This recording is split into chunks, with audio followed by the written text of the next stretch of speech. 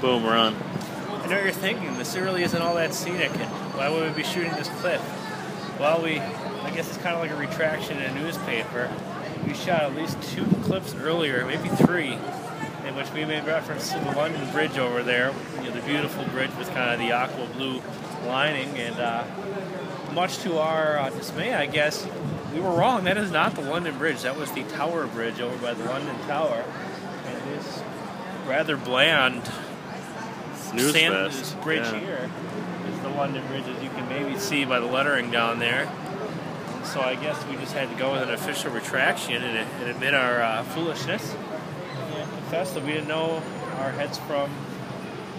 Our bums. Yeah, exactly. Our So, bums.